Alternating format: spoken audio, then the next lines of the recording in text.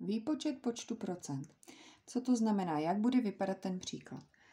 Třeba vám zadám spočítat, kolik procent je 86 metrů ze 200 metrů. Tak, Zase si ten příklad rozbereme. Hledáme něco původního, základního, celkovou délku. To je těch 200 metrů. Z toho se to má spočítat, takže to je základ. A my už víme, že základ v procentech je 100%, takže 100% mám 200. Spočítáme 1%. Když víme, kolik je 100%, tak těch 100% vydělíme stovkou, aby jsme dostali 1%. Posouváme o dvě desetiná místa doleva. Takže 1% procento jsou 2. 2 metry.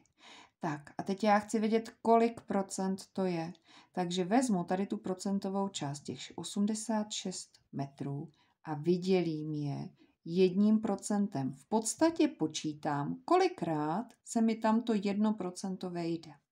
Tak, do osmičky je to 4x, 4x2 je 8, do šestky je to 3x, 3x2 je 6, takže mi vyšlo 43%. Jo, počítáme počet procent. Tak, takhle je to jednoduchý, ale většinou ty příklady bývají zadány ve slovní úloze, takže já jsem si tady pro vás jedno nachystala. Přečteme si pořádně to zadání, rozebereme a spočítáme. Šaty původně stály 1300 korun. Byly zlevněny o 273 korun.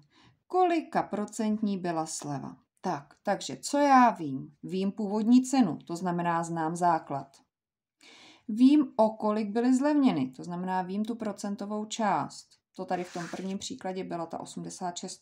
Tohle byl základ, tohle byla procentová část. Tady v té slovní úloze tohle je základ, tohle je procentová část.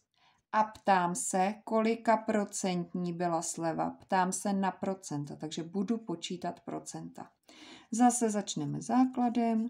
100%, 1300. 1% dělím stovkou, posouvám o dvě místa. A teď počítám procenta, takže procentovou část, co bylo zadáno, dělím jedním procentem. Zjišťuju, kolikrát se mi tam to 1% vejde. Takže do 27 dvakrát, 2x3 je 6 a 1 je 7, 2x1 je 2, zbytek 0. Sepisuju další číslo do 13, 13 1, zbytek 0 a vyšlo mi to zase v procentech. 21%, takže 21% byla ta sleva.